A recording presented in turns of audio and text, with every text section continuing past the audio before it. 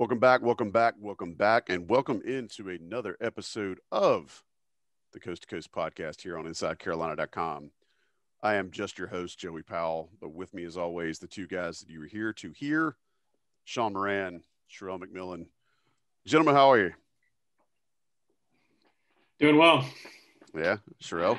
No complaints. No complaints. Fruit snacks engaged? Done. Are they? Are, are, wait, wait, wait. Are they Terry Rozier engaged, or are they just fruit snacks? Terry Terry Rozier engaged. Man, scary Terry went nuts last night. We're recording this on Sunday for everybody who's listening and watching out there in the world. And uh, in one of our uh, group chats last night, we were watching Terry Rozier absolutely just eviscerate an entire team in the fourth quarter, which was rather rather fun to watch. Um, and speaking of fun to watch, we got a lot of stuff to talk about tonight, guys. So shout out to everybody uh, who is listening on whatever means you get your podcasts. Uh, shout out to the folks who are viewing on YouTube. We appreciate it. Regardless of how you're taking us in this evening, please take a second, rate, review. If you have not subscribed, please subscribe. Uh, we appreciate that. It helps when you give us good reviews, helps us get to the top of uh, these podcast algorithms so that uh, when folks search for us, we're closer to the top of the list, which means we get more clicks, which means we get more ad revenue, which means it goes right back into producing a great, great content for y'all. And as always, this is part of the InsideCarolina.com podcast network, which all the stuff that IC is putting out right now, you guys are probably listening to. But if you're not, make sure you check it all out. There's something for everybody, and everybody gets something. Uh, as I said earlier, I'm Joey Powell. We appreciate you joining us. Uh, Want to make sure we're shouting out to our friends over at Johnny T-shirt. They are bringing you this show and all the shows that Inside Carolina puts out. Uh, Johnny T-shirt, locally owned, alumni operated. Hit them up if you're home gating, watching these games on TV right now. You need some gear, need something just to spice it up a little bit. Take care of them. Uh, they've got all stuff for all sports. Uh, baseball team got off to a good start this past weekend. Uh, a lot of the other sports have been doing really well. Uh, you got a lot of UNC's varsity sports right now are ranked in the top five, which is amazing to see. And basketball is not one of them. So great day to be a Tar Heel. Good time to get your gear from Johnny T-shirt and JohnnyT-shirt.com. Hit them up. And as always, Inside Carolina Premium subscribers, get that extra 10 off the top. Yay, yay. Make it happen. Fellas, let's talk some recruiting news before we get rolling. That sound good? Sean, I want to throw it to you first. You have something coming up about uh, Mr. Dontrez Styles, and we've talked about him recently coming back from a pretty scary injury uh, and getting back into the groove of things. But you're going to have something coming up this week on InsideCarolina.com about Mr. Styles. What can you tell everybody about it? Yeah, it should come out uh, Monday, um, and it's similar to what we did with D'Marco Dunn at the end of January. Of just looking at his most recent game doing some video clips and not just not just highlights, but kind of showing all all the shots. So you see the good, the good with the bad, and then just a few a few takeaways. But I know he had a monster game earlier in the week, and then was able to watch his Friday Friday game. Uh, so I believe this was the last regular season game, which is kind of crazy to say, but it, I guess it is at the end of end of February. Um, and he he had uh, 32 points, 11 rebounds in uh, in a win and he did that very efficiently. I think he was around 12 of 17 from the floor, uh, and, and, you know, kind of kind of mixed it in, hit some threes. He had two threes, um, was attacking off the dribble and hitting a few kind of 12, 15 footers. So, you know, he, he did it all, and you can see that in the in the film clip. And I think, you know, the one thing everybody knows how athletic he is. So it was good seeing, you know, just how explosive he is off of two feet, whether that, you know, was, was almost kind of doing what you see Leaky doing a lot of the time is grabbing the, grabbing the rebound and pushing the ball up the court. But at the same time, he was able to utilize uh, athleticism when, when attacking the basket as well. And he looked very comfortable shooting from the mid range. Uh, he hit an NBA length three pointer, but I'd say that you know still a little concerned on on how the shot release looks and how it translates next year. But I think you know once again it'll he'll be an interesting piece between him him and Dunn, and I think he will offer some uh, kind of offensive and defensive flexibility with with how the team looks and how they could potentially use him next year. And what time do you think that'll that'll hit the the boards this week? Uh, depending on when this comes out, you know, I'd say Monday, Monday morning, Monday afternoon. Awesome. Well, we'll make sure that everybody listening now knows about it and they'll be keen with their eyes to check it out. And I'm sure, like all the stuff that you put out for us, it'll be some really, really good insight about his game, where he fits, how he fits, all that good stuff. So we appreciate your your insight there, man. Um, another recruit we want to talk about, and we've been talking about him as a class of 22 kid. Uh, does have an offer from North Carolina, but uh, there's kind of some some debate about that. Sherrell, won't you let us know about the top six list that just dropped for Mr. De'Ante Green? Yeah, so right now he's uh, in the class of 2022. Um, you know, actually, we got his parents to confirm that to us uh, a few weeks back that he planned on staying. However, I think with uh, reclassification, always kind of a moving target. So 100% in January might not mean 100% in February. um, but I'm, I, am i am sticking with them. I, I, believe that's what they want to do. And it's probably going to end up being a matter of which school he chooses, whether or not he decides to reclassify. Obviously, for those who follow North Carolina recruiting that know that uh, I don't think North Carolina's ever had a reclass. They've had a couple people consider it, but it never actually happened at UNC. So uh, the thought is if he goes, ends up committing at North Carolina, uh, that a reclass is very unlikely uh, because Roy Williams kind of tells those guys, hey, you know, enjoy your senior year, enjoy high school, get better, and I'll see you in the year. Um, it's ironic because uh, Walker Kessler was in a situation like that two years ago where he was considering a reclass. And one of the things I actually think helped North Carolina in that recruitment was that uh, Roy Williams basically was like, we don't have an offer for you in, in 2019. Uh, and they're like, you don't want this five star kid in 2019 and um, I think the par- his parents were a bit thrown back by it, and I think it gained some respect. They gained some more respect from Roy Williams because of that. So all that to say, um, if he does reclass to 2021, then you know that's kind of a telltale sign about what the interest might be in UNC. Um, but from what we understand, you know, he he did announce a top six today. It is pretty much the entire ACC, um, and then Tennessee. So it's it's top six are Florida State, NC State, Virginia Tech, Wake Forest, Tennessee, and then North Carolina. And basically, you know, what we've heard is that uh, UNC, Tennessee, and NC State seem to be ahead of everyone else. Um, I actually think I'm pretty sure Tennessee is actually closer than NC State and mm. UNC. So that's something people don't think about. Asheville to Knoxville is like two and a half hours, and I think it's about the same, maybe three and a half hours from Asheville to Chapel Hill. Yeah, to the Chapel yeah. Hill and Triangle. Um, so that's something people don't think about with the Western kids in North Carolina. But as his top six, um, he had a top 10, and um, I think he was going to have a top five, and he made it top six by adding Virginia Tech because they were not in the top 10 before. Um, but everything we've been hearing basically points to UNC, NC State, or Tennessee. Yeah, I'm glad you answered that. I was going to ask what your your fabled list within the list was going to be. So appreciate you jumping ahead on that. Um, Sean, any quick snapshots about De'Ante Green's games you want to remind everybody about? I know we've talked about him before, but it's been a little while. Yeah, we've talked about him before. I mean, I think for for him, he, his length, uh, his size, his shooting ability, uh, his, his, improvement points. You know, once again, you, you, feel like you say this about almost every big, but getting stronger.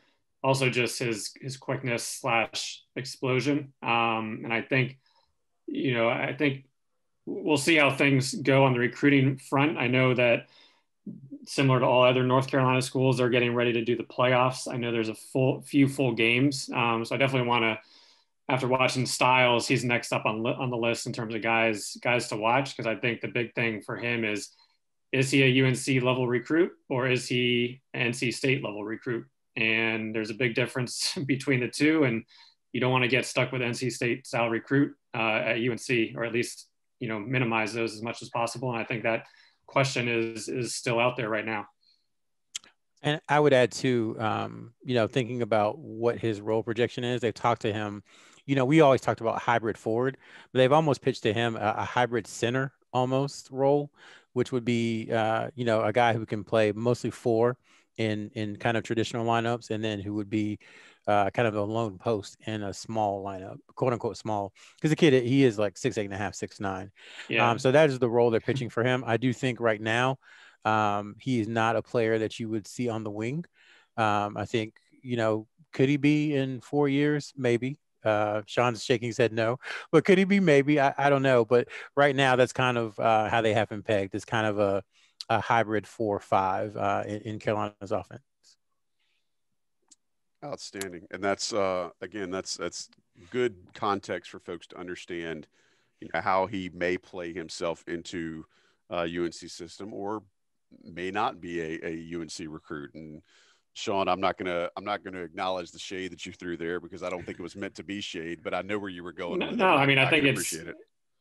I mean I think I've said similar things about Wake Forest is that you're you know UNC is playing you know at they're they're recruiting the best of the best that ideally are not going to the G League or one and done, and there, there's a big big difference between those types of players and you know right now UNC is hopefully going to be in the tournament, but you can't you can't continue to get those types of recruits if you want to be playing as a top ten type type team. Fair enough. Uh, anything else on the recruiting front, guys? Uh, Kinston starts to take playoffs, I believe, on Tuesday. Uh, those pairings were announced today, and then uh, Green is at a, a, private school in Asheville, so, so they've already started their playoffs, and he had the game-winning tip-in um, against the defending I think it was 3A champion in that classification, which I think was Concord Academy or used to be Concord First Academy. Uh, so he did that over the weekend. So those two guys are advancing. I'm not sure where Westover is at, um, but they'll start the playoffs as well on, I believe, on Tuesday. All right. Appreciate the rundown from you guys. Uh, as always, y'all are always bringing the the number one info and the the good stuff here for all of our listeners and viewers. Uh, take a quick second, tell you once again about Johnny T-shirt. Johnny T-shirt on Franklin Street, johnnytshirt.com. Hit them up. Going to take a break. Let the national guys uh, run a couple ads, one or two. They'll be right back to talk about what was a fun night for the UNC Tar Heel basketball team in the Smith Center. Hang tight. We'll be right back. Thanks for sticking around. You listen to the Coast to Coast podcast. I'm Joey Powell. With me, as always, the two guys that bring the heat bring the info, to bring the knowledge, to bring the insight. Sean Moran, Sherrell McMillan.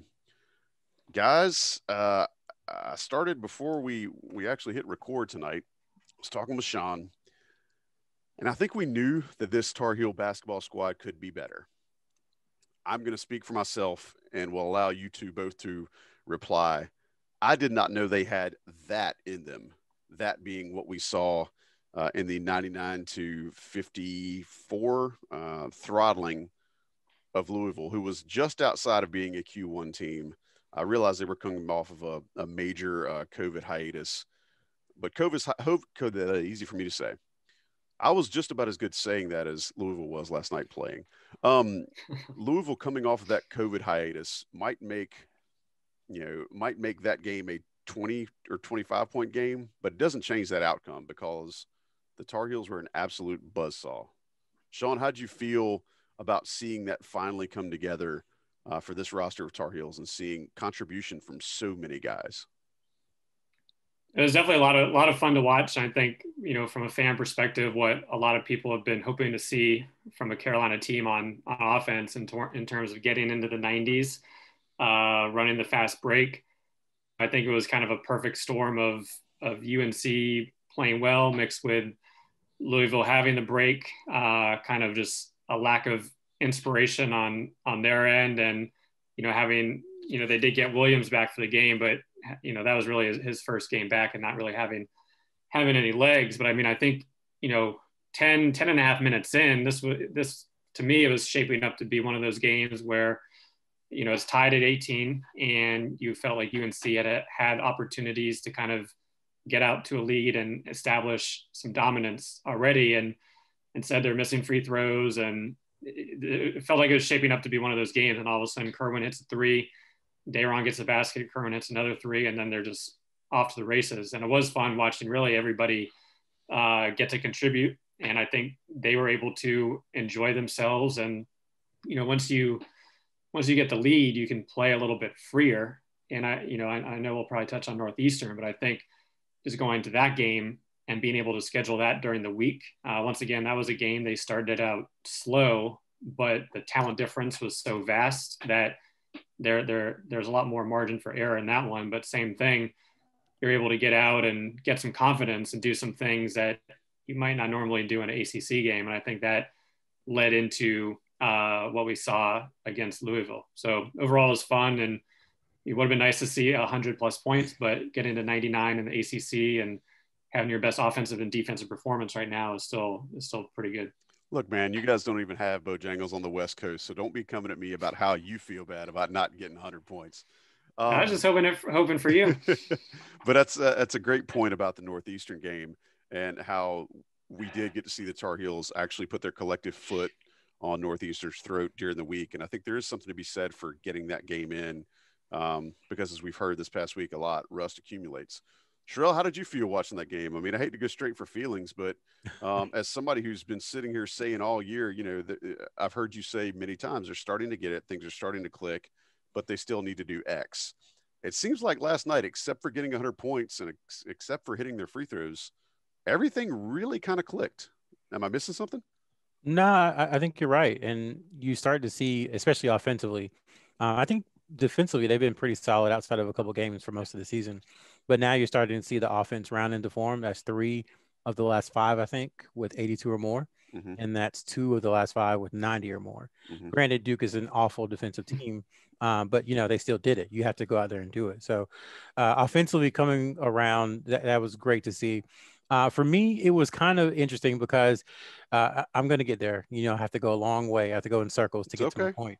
But uh, you, you know, you always hear people talk about uh, close close wins where a team plays bad and they say oh that's the perfect for the coach because that way right uh, you know a 65 63 win they still won but the coach can give them lessons but it's like yeah the kids didn't feel good doing it so i don't know how much that really really helps i think a game like yesterday is the perfect thing because yeah they won you know one of the biggest wins in the Roy Williams era they got that checked uh, there are some things that were they did really really poorly, shooting free throws, some turnovers in the second half that Roy Williams can cor- correct and show in film so they don't get too high and mighty. Check.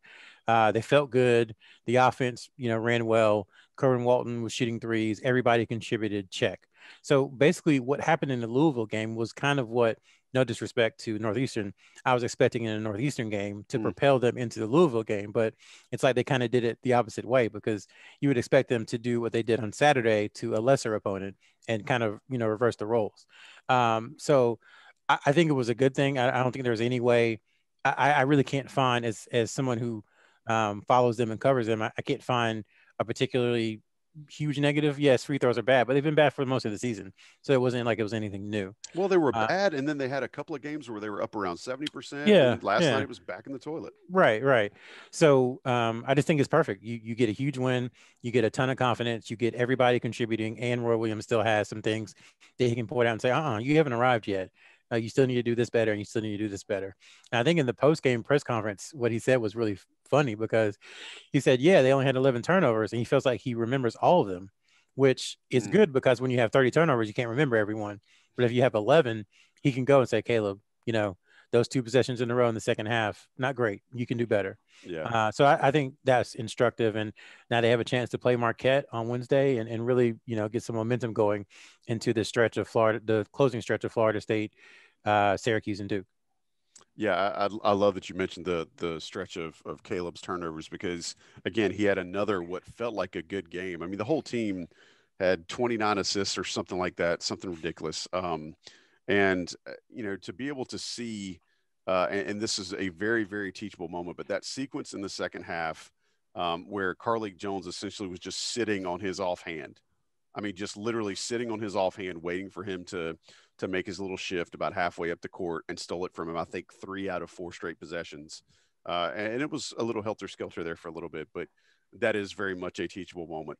Guys, I'm going to throw some stats out, and, and, offensively, it was a night for you know guys like uh, Steve Kirschner and anybody in the SID department who wants to just throw numbers out there. But uh, UNC moved up, and I think Sherrell, I think you hit this earlier. They're up to 33 in the net right now, which puts them just outside of Q1. Uh, and I know they're looking for Q1 wins, but you mentioned it. The 45 point win is the second largest in Roy Williams' uh, conference games since he's been here. Um, the first one was against another team that wears red. Uh, 136.3 offensive efficiency. That's absurd. And, and I don't think, and I was I, I was briefly looking at it last night, but I don't think that UNC's hit anything like that in at least two to three seasons. Um, Sean, how do you feel like they can carry over having a game where they're just so efficient offensively, and even even when they took bad shots, you know, you had a guy like Day'Ron Sharp just knifing in the air in his 260 pound frame, stealing a ball on an offensive rebound and tapping it back in. I mean, how can UNC continue that momentum with such, uh, and it doesn't have to be matching that offensive uh, efficiency, but how can they keep doing those things to keep that OE number up? Yeah, I mean, I think you know some of the things you saw in the in the Louisville game. Uh, you know, you felt they looked a lot crisper um, in, ter- in terms of their movements. I know this was kind of talked about on the the message boards, but you have started to see more spacing um, between the bigs, especially when one does catch it down low. Uh, you know, it, it's once again not a full out four four out, but there is a lot more spacing. Um, you, you see people not getting caught up uh, in the middle of the lane as much, at least at least lately. Um, so I think that you know you can definitely carry over carry over that. You know, one thing, and I'm going individual here, but RJ Davis uh, hitting two threes, I think can definitely carry over because he missed his first one. It looked good. It was kind of in and out. Yeah. He, I would have to go back a few games to see when he hit his last one, but I think there was a lot of 0 for 1, 0 for 2 performances. And I think for him, just seeing the ball go in the basket uh, has to be a, a big relief. Um, so hopefully that can carry over because I definitely think we're going to need his, you know, his scoring off the bench. And you know, once again, from a from a big perspective, Day'Ron was killing it on the on the boards um, because if he's getting fouled, you want him to at least make the basket because he's been been struggling big time, big time from the line. Uh, but even Armando's been able to hit a few outside the paint jump shots, which once again, if he's able to do that, that kind of alleviates some of the paint congestion, um, whether it's Brook, Sharp, Kessler, etc. And then finally, you know, Kessler's been getting some minutes, and sure, you'd love for him to go up a little quicker when he when he catches it, and there's like that one to two seconds where you think it's an easy dunk, uh, but at the same time, he, he he's been gaining confidence. I think that's the biggest thing for him and for the team going forward. So I think there are there are definite things, but at the same time, we know this is a team that once again came off beating Duke at Duke and then went two for 16 against UVA the next game. So I think Marquette is a good opponent to hopefully continue that. But once again, they do have a lot of talent. So it wouldn't surprise me if it's more of a game than people think.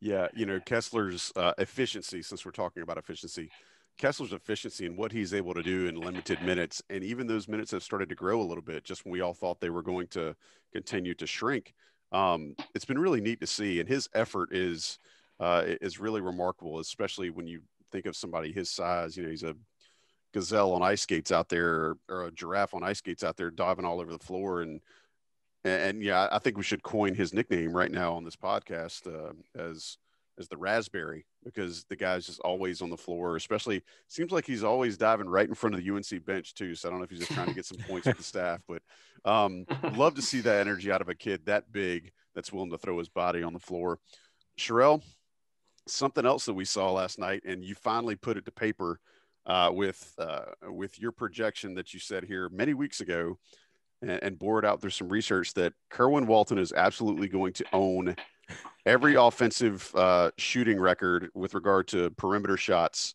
at North Carolina if he stays all four years and stays healthy. Once again, last night, you know, a very, uh, very pedestrian evening for Mr. Walton. 23 minutes, seven for 10 from the field, five of seven for three. Had one really nice up and under that he drove for a layup. Uh, total points were 19. Is is Kerwin Walton continuing to be sneaky good, or is he actually – at some point are people going to start respecting him? Oh no, I mean he's he's past sneaky good now. I mean he's an anomaly. I mean because freshmen. I mean I, I don't know how many times we've said it. Freshmen don't shoot well by and large. There are yeah there's there's 35 years of, of precedent on that that freshmen just don't shoot well, particularly at North Carolina. And Kerwin has come in and um, you know the question was never if he was going to be a good enough shooter. That was never a question. I think everyone who watched him, Sean studied him, did you know articles on him and everything, knew that he'd be a good shooter. Probably not in year one because we didn't think you'd be able to get on the court because of some other deficiencies. But what has um, proven to be true is that um, the difference between him and other players on the court who maybe are better defensively, the difference between his shooting and their shooting is so astronomically high that he has to be on the court as much as possible and he has to shoot as much as possible. There's a story. Uh, I talked to um, Cam Johnson's dad, Gilbert Johnson, a lot. And he always talks about how um, Cam was such a high efficiency player, and that you know the coaching staff and and Gilbert and pretty much everyone around Cameron was like, "You have got to shoot more. Anytime you shoot it is it's not enough. Like you need to shoot 10 11 12 13 14 times a game. Dewey talked about it a lot on post game podcasts uh, a couple years ago. Just you know you're that good of a shooter shoot it as much as possible. And i think we're there with kerwin walton now. Like i think he took seven threes you know, would anybody have been upset if he took 11? Because Not the odds are, the odds are he's going to make two of those. So, um, as many shots as he can handle, you know, I think he should take.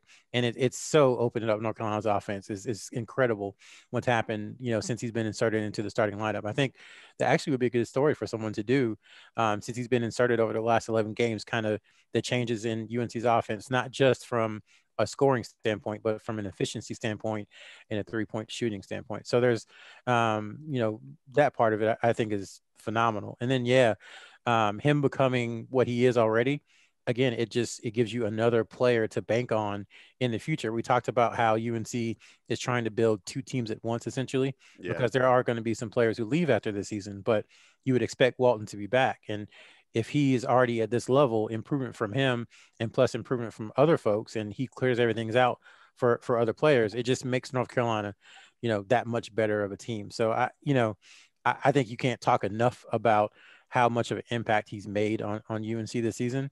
And I personally really appreciate him for playing so well in between the stories, you know, the story that we wrote. So like yeah. he was really good against Northeastern and he was really good against Louisville and the story came out on Friday. So it was like, or Thursday. So it was perfect. Um, so really appreciate that from him.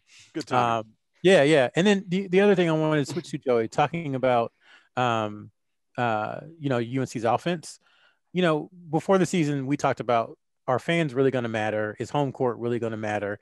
Et cetera, et cetera. We didn't think so but Roy Williams has talked about it, and Greg has written, Greg Barnes has written stories about it, and it's really rung true. Like, look at North Carolina's offense at home, and I can tell you all the numbers since they've only played a few home games: 79 points in a win, uh, then 73 points in a win. 66 against Notre Dame was a season low in a win. Then they had 81 against Syracuse, 80 against Wake Forest, 86 against NC State, 91 at Duke, and then 82 at home against Northeastern and 99 against Louisville. So there is something to be said about shooting in rims in which you're comfortable, about being in familiar settings.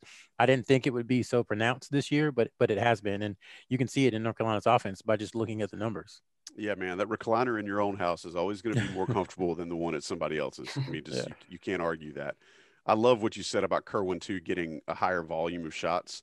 Uh, Tommy and Ashley, Tommy Ashley and I on the Inside Carolina Live radio show yesterday at 10 a.m on WCHL or at chapelboro.com. I missed it. Um, we had Brandon Robinson on and we talked to B Rob and said, you know, B Rob's game was all predicated. He played the same position. His game was all predicated on, on outside shots. And he might have been a little more athletic than, than Kerwin was when he left, but there was some similarities to he and Kerwin's game when they both got to UNC. And he said the exact same thing that, you know, I want him to shoot more. And I'm quoting Brandon there, but uh, I mean, it's, he wants to see Kerwin Walton shoot more too, because like you just said, and like Sean said before, and like a lot of fans are starting to see, you feel like it's going in when he pulls the trigger. So I don't think more shots for him would be a bad thing. Um, guys, I'll give you each one more stab at something you want to mention about this game before we move on to previewing Marquette and then uh, and then putting a bow on this episode. Sean, anything else you want to call to about the uh, the absolute offensive explosion against Louisville? Uh, I guess I'll stay on on Kerwin. I, I mean, I think well, two things on Kerwin. One, you kind of saw when he did hit those two threes when UNC was making the run, everybody was trying to find him for that heat check shot. Um, and that yeah. was probably one of the few ones where, you know, he probably shot it a, a, little quick, but at that point, everybody was trying to get, you know, they knew he was burn hot hand and yeah, burn, burn it down is right. But really, one of the things that stood out to me in the first half was he got isolated on Williamson, um, I, I believe on the right wing and once again, Williamson didn't have a great year as a freshman, but he was still a top 30 guy coming out of coming out of high school, and here's this guy trying to take Walton off the dribble, which was his biggest weakness, and you know why a lot of people, myself, didn't think he would get the time he's getting, and Walton was able to stay with him and really and basically force a turnover, uh, which I you know was was super impressive. So, you know, the overall everything that he's doing has been been great, and and you know hopefully continues to perform because if you get you know those like two threes in a row, six points so quick, it just makes the game so much easier, uh, especially with with UNC style of play.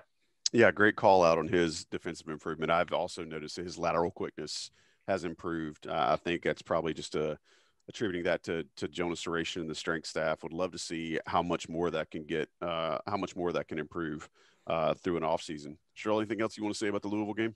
Yeah, two things. Uh, one is about Kerwin again. Uh, I think it was really good.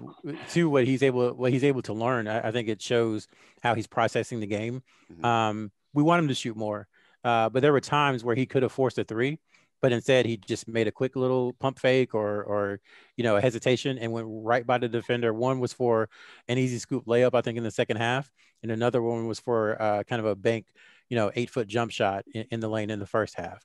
Um, so just he na- he now knows that oh, okay they're going to run out at me no matter what, so I can just take a couple of steps and have a layup.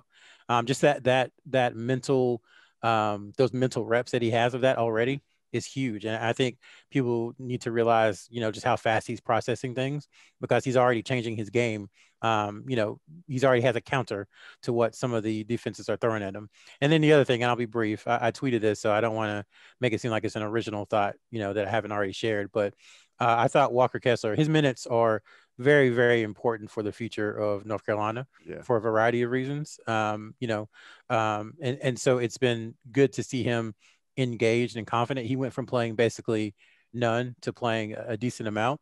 And you see him getting better as he's able to play more minutes. So I think it's important. We talked about it a few weeks ago. Like, should they keep kind of force feeding him minutes? And uh, I said yes because they're going to need him. And I think you know you're starting to see some of the the fruit of, of those seeds um, a few weeks later.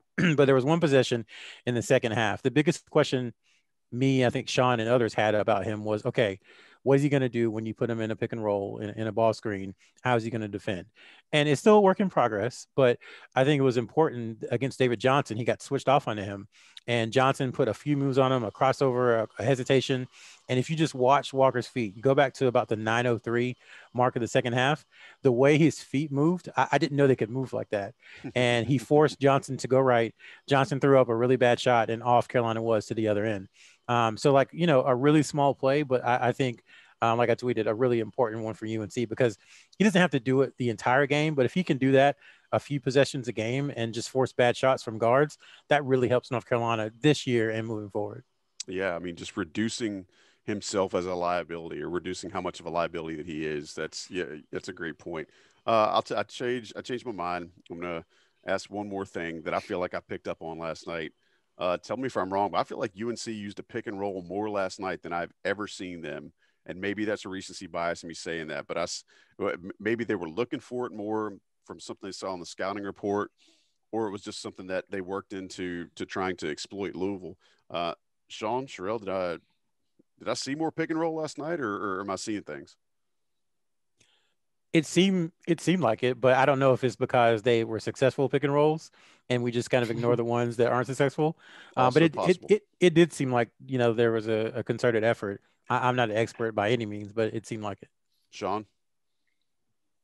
Yeah, I mean, it'll be interesting, you know, with, whether Adrian has something or or we we get some numbers on that. But I it did seem like that, but it also seemed like UNC was setting better screens, actually hitting hitting the defender. And then there's kind of, once again, going back to the crisp ball movement that you were able to kind of, once the guard turned the corner, something was happening, whether they're putting pressure on the defense or, you know, throwing a good pass. So I think that's also been missing uh, previously was, was just some of the Christmas where, you know, there might be a pick and roll, but it doesn't really do anything. And then, you know, you're not really putting any, any pressure on the defense. So you know, once again, crisp ball movement and moving with a purpose is, is hopefully we can something we can see over the next four games.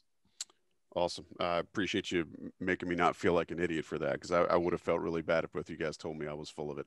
Um, all right, now let's let's move on to the game in the middle of the week this week.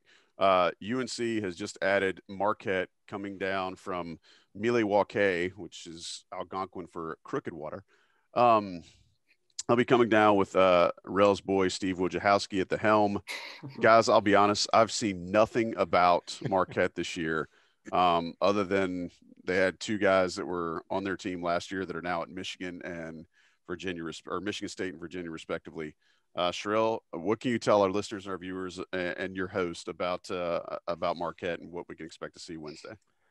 About the team in general, not a ton. Um, I'm taking this from Brian Ives, but they are kind of similar, similarly ranked um, in KenPom and various metrics to NC State. Um, you know, obviously I, they play a different style, but that's kind of where they are. So that if that helps you uh, understand what type of team they are, you know, they are in, in that realm. Um, and then I, I, know about three of their players just from recruiting circles and everything uh, DJ Carton, Dawson, Dawson Garcia, and Justin Lewis. Uh, Garcia had a UNC offer, and mm-hmm. You know Walker Kessler kind of took it before Garcia had a chance to uh, commit. I, I, think North Carolina had an excellent shot with him had uh, Walker Kessler went elsewhere. So there's some familiarity there, familiarity there. Um, Carton, UNC never really recruited. He's a transfer from uh, Ohio State, but a really good player. And then Justin Lewis has been out for a little bit, but he's someone that actually I think visited Chapel Hill a few years ago. Um, so I, I, didn't give you much about the actual team because honestly I don't More know. I had, but man. but they do. There is some talent there and some talent that was wanted by a lot of schools on the roster. Man, let the floor slapping begin. Sean, what do you got for us? Uh, so watched a lot of Marquette earlier in the year, not not as much lately, but they did have some big wins early in the year, beating Creighton on the road, uh, beating Wisconsin. Uh, big big East play, six and ten in conference, and they've lot they've they're basically two and six their last eight with both of those wins coming over Butler, including the last one. Uh, you know, I think in terms of how they match up right now, it'll probably be a six-ish point spread. Um, so you know, I think once again they have individual talent.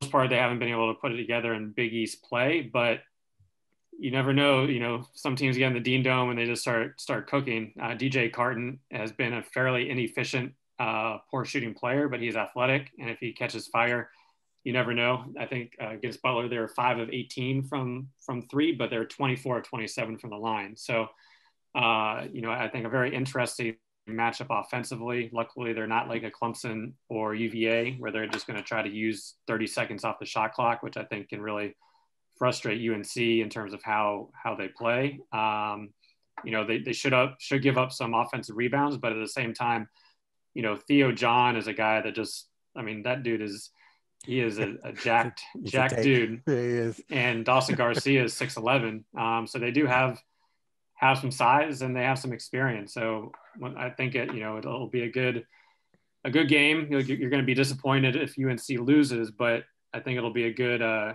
good matchup heading into Florida State. And I think we all saw what Florida State did on Monday to UVA at home. Holy Lord, Theo John looks like he's been snatching chains since he was two. he looks Man, like a defensive end. dude. Does he not look like a defensive end? Like God. Okay. Yeah. yeah he's yeah. Uh, he's, he's a a large specimen of a human being. All right. Well, got that to look forward to uh, Wednesday night. Appreciate you guys calling my attention to him. Um, yeah, sorry, that's that's live podcasting for you, everybody. Um, and then, of course, Florida State coming in to the Smith Center next Saturday. We know what to expect there. A lot of athleticism. Um, they have been more up than down. Uh, I've seen some really good things, and they did struggle with uh, Wake Forest, but um, yeah, just beat the mud out of uh, out of UVA, as Sean just mentioned. So be a lot to watch for this week. Hope hopefully this team can continue to improve on the things that we've called out on this show, and and hopefully next week when we get back together, we'll have uh, you know we'll have some more positivity to talk about and share with the audience. Boys, parting shots. Anything you want to mention before we uh, before we close up for tonight, Sean? Not not much. I'm just excited to see how they you know it's going to be two games this week. Um, so I'm excited to see where we're at next time we record this, having faced a uh, decent Marquette team and a probably what's the best ACC team right now in Florida State at home. So yeah, for sure. Sherrell, anything to, to throw on top of this uh, on top of this smorgasbord before we get out? Yeah, I'll just say I, am really interested in in the Florida State game. Uh, you know, they played three road games the entire season, and back to the point we talked about earlier, like you know, it is different. Um, they struggled against Pittsburgh, a, a team that Carolina, I, I, think, beat pretty handily at Pittsburgh. Uh, they were, think, they were nine and a half point favorites and ended up winning by seven, but it was it was closer. It was close to uh, Yeah, it was close to the end. And other than that, they had that poor showing at Georgia Tech, um, and then you know they lost at Clemson. I think like around Christmas or something. Um, so we'll see what happens. You know, I, I think Carolina has a lot of confidence and they actually have the personnel in my opinion, to, to play with Florida State, the, the depth and mm-hmm. um, the length and the athleticism. Um, obviously, Scottie Barnes was out last game, so curious to see how he fits in. Um, but they they can be Florida State. You know, it's just a matter of limiting turnovers. Um, they played really well uh, down in Tallahassee. If they can have, I think, a similar performance, then they have an excellent chance of winning. Uh, so we'll see what happens, and, and maybe this confidence carries over into Wednesday and then to Saturday. And hey, that team that played Louisville Saturday night can beat just about anybody in the country. Not that's that's no no bias. I mean, that was an absolute buzz saw. So we'll close this up the way we started talking about the buzz saw that hit the Smith Center uh, Saturday night for the Tar Heels. As always, appreciate Sean Moran and McMillan stopping in and making us all smarter. Uh, I've just tried to keep us between the lines here, and we will talk to everybody next week on the Coast to Coast podcast here on InsideCarolina.com. Special thanks to John Sigley for producing and Johnny T shirt for sponsoring. We will talk to you guys next time. Late.